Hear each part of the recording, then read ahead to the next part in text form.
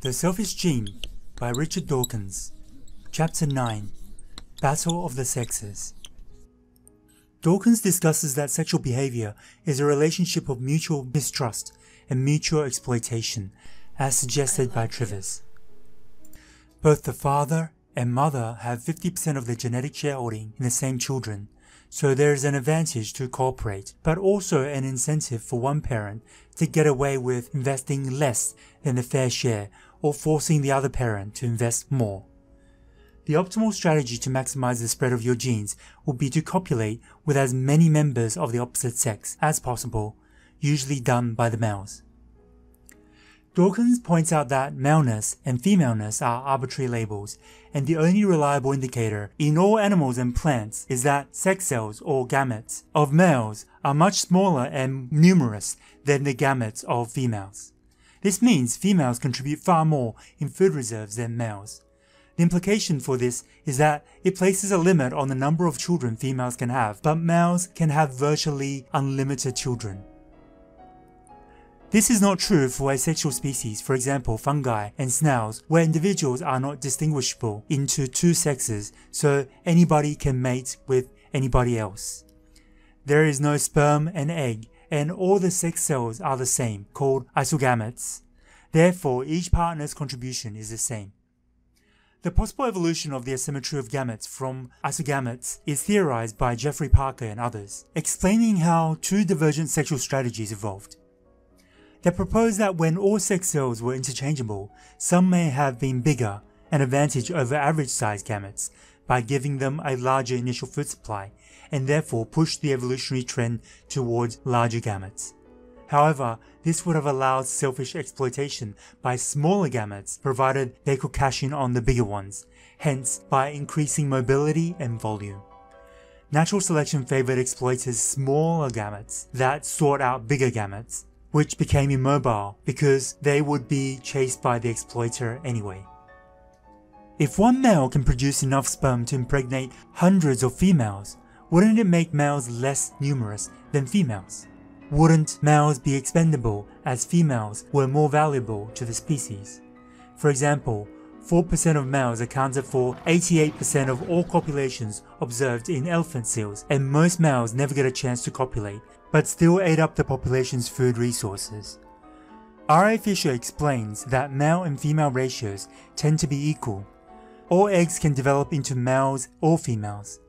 The sex determination gene is in the chromosome carried by the sperm and deferring one chromosome only. Hence on average half the sperm are male and half are female. If we suppose that genes are tending towards one sex or the other, are any of them likely to become more numerous in the gene pool? Suppose if in elephant seals a mutation arose that tended to make parents have more daughters. This would shift the sex ratio towards a surplus of females.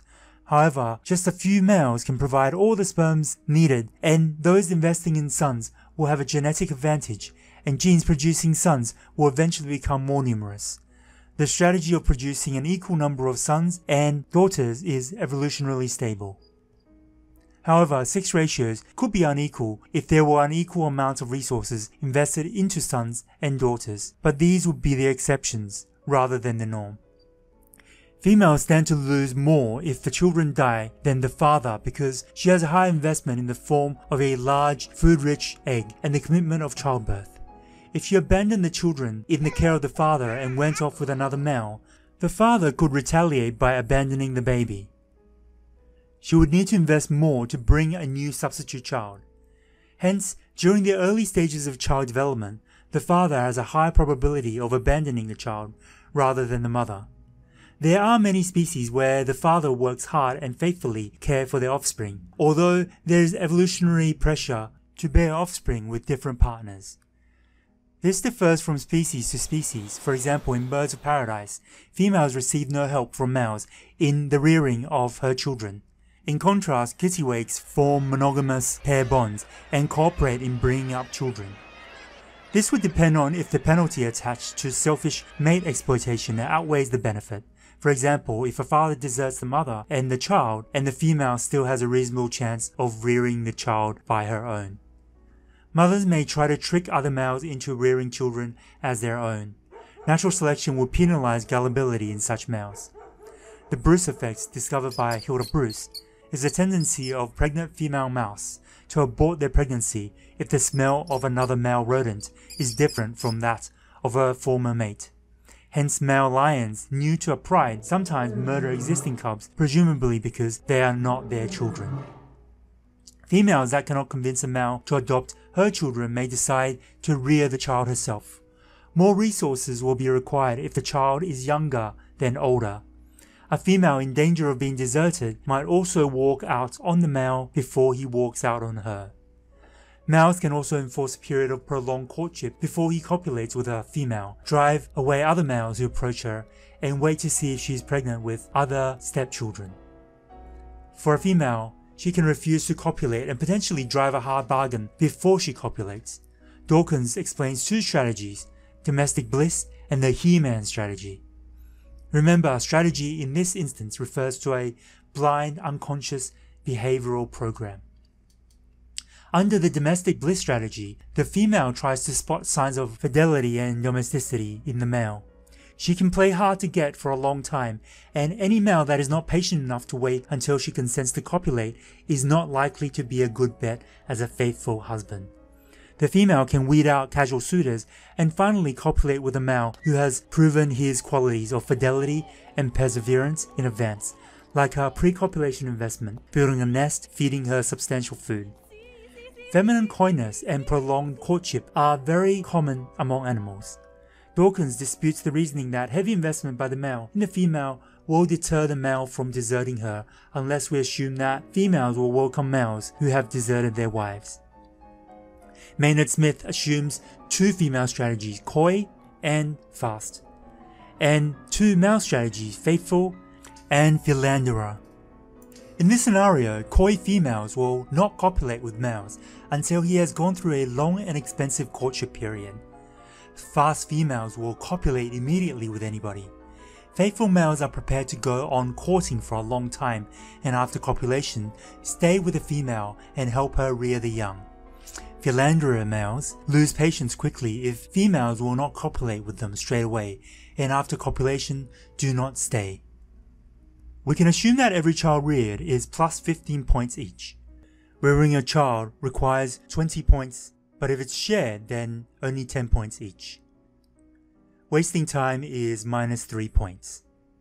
Firstly, in the situation with coy females and faithful males, the payout will be 15 minus 10 minus 3, which equals plus 2. In a situation with introduction of a fast female, payout will be 15 minus 10, which equals plus 5. However, if the fast female starts to dominate, the philanderer male rises in the population and does better than his faithful rivals. Payoff for the fast female equals 15 minus 20 points, which equals minus 5 points, and for the philanderer male, plus 15 points. This scenario seems to be an endless oscillation, however, the system will converge on a stable state being 5-6 coy females and 5-8 faithful males. The analysis depends on the arbitrary number we assign, but the point here is any tendency to deviate from an appropriate stable ratio will be penalized to the advantage of the deviant in order to preserve the evolutionarily stable state. Demanding prospective males to build a nest might be an effective strategy for the female to trap him. Females may also assign some difficult and costly deeds such as slaying a dragon or climbing a mountain before consenting to copulation. However, females that impose a less arduous task, but more useful to her and her children, will have an advantage over more romantically minded females demanding pointless labours of love. In courtship, the male can also feed the female.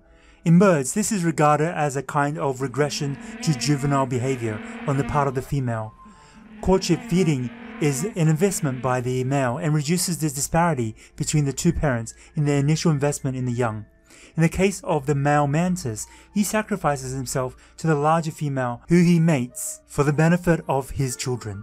However, males who can deceive females by concealing a strong tendency towards desertion and unfaithfulness have a strong advantage.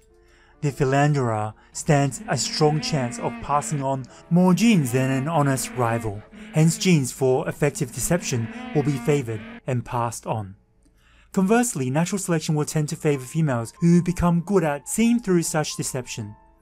They can do this by playing hard to get when courted by a new male, but quickly accept the advances of last year's mates in successive breeding. Hence, faithful fathers have an advantage in second or subsequent years of a mother's life. The ability to detect deceitful behavior has kept deceit at a fairly low level. Although parental devotion in birds and mammals are rare, this behavior is common in fish. T.R. Carlisle applies Trivers' ideas of cruel bind to explain this. As most fish do not copulate but spew out sex cells into the water, fertilization takes place in open waters, not inside the partners, which is probably how sexual reproduction first began. This is not possible for land-based animals because sex cells are vulnerable to drying up. If sperm was introduced into the female, it allows time for the male to vanish, forcing the female into the cruel bind of whether to abandon her children to death. Therefore, maternal care is more common among land animals than paternal care. In water-dwelling animals, the female is not left holding the baby, and each partner can make a getaway. In this case, males are more vulnerable to being deserted because females are usually the partner who spawns first as eggs can stay together longer. Whereas sperms are lighter and likely to diffuse faster than eggs. Males therefore cannot spawn too early, therefore females have the advantage of forcing the male into the dilemma. In the He-Man situation, the female resigns themselves to getting no help from the father of the children and focus on good genes instead. They withhold copulation to detect males with good genes. Hence, only a small percentage of males can copulate and get away with a selfish exploitation strategy, such as the elephant seal. The female looks for evidence that points to the ability to survive, especially past adulthood. A good policy might be to go for older men, but longevity is not the main evidence of virility, which ensures lots of grandchildren. Survival might be a sign that he does not take risks that allows him to reproduce. Other signs might be good muscles to catch food, long legs to run away from predators. Charles Darwin had proposed, as clarified by Fisher, that mothers should try to produce males that turn out to be the most attractive. This will allow him to copulate with many females and guarantee the most grandchildren, hence one of the highest qualities in a male should be sexual attractiveness. Females who mate with super attractive he-man is more likely to have attractive sons that copulate with more females and produce more grandchildren. So a useful quality like big muscles when accepted as a attractive quality among females. Natural selection would favour it simply because they were attractive. This can have an unstable runaway effect, as in the case of tails of birds of paradise. Longer tails may have been selected by females as an indication of fit and healthy males, serving as an indicator of genetic inferiority. If there was some genetic contribution to the natural variation in male tail lengths over time, the average tail length of males in the population would increase. Females would simply look for the males with the longest tails. Any female who departs from this rule would be penalized. This would only stop if the tails were so long that it manifested a disadvantage that outweighed the advantage of sexual attractiveness. Zahavi counters Darwin's theory of sexual selection through his handicap principle. He argues that the visual appearance of strong muscles, for example, must be supported by real strong muscles, not dummy muscles, as these can be eventually detected by females. Therefore, males must not only seem to be good quality, but must be good quality. Zahavi suggests that tails like birds of paradise or peacocks or huge antlers of deers are evolved because they were handicaps. Hence, a male bird with a long and cumbersome tail is showing off to females that he is a strong he-man and can survive despite his tail. Dawkins uses the analogy of a woman watching two men competing in a race and one man has a sack of coal on his back. The woman will conclude that the man with the burden is the faster runner. Dawkins points out the contradiction in this theory because the handicap must be a genuine one, but will penalize the offspring as well as attracting females. So females select males who have handicaps but have other good genes, which makes the genes more numerous. This may work if the handicap only manifests in sons but not in daughters. The feasibility of this idea has been tested by mathematical geneticists such as Maynard Smith, and there is a failure to come up with a workable model. Elephant seals win and hold to the harems not by being attractive but by beating up any other males who tries to move in on the harem and any female who tries to stray. Females benefit because, with luck, her sons will inherit their father's ability to hold a harem. Females prefer to mate with males who hold territories and with males who have high status in the dominant hierarchy. Generally, males go for sexually attractive, gaudy colors and females tend to be drabber. There are two conflicting selection pressures. Bright colors attract predators and remove these from the gene pool, and sexual partners tending to remove genes for drabness. The optimal compromise for a male is different from females. Males are high risk, high reward because there are many million sperms for every egg produced by females. For females, avoidance of hybridization, mating with a member of another species, is important, as with horses and donkeys crossbred, producing a mule that is sterile as an adult despite the considerable investment by the female. Males who mate with the wrong species gain nothing, but also lose nothing from the mistake. This goes for incest mating, where there are likely genetic consequences of lethal and semi-lethal recessive genes. Females are more likely to adhere to taboos more than males. Incestuous unions tend to be older males to younger females, meaning father-daughter incest is more common than mother-son, but brother-sister incest should be the same. For humans, females perhaps play domestic bliss rather than the He-Man strategy. Mothers generally do more work raising children, and fathers often work hard to provide the material resources that are poured into children. Human societies that are promiscuous and harem-based exists, showing how for humans this is determined more by culture than by genes. An example is how females tend to dominate in advertising themselves sexually compared to males. Dawkins concludes that this seems to point to a society where females compete for males rather than vice versa.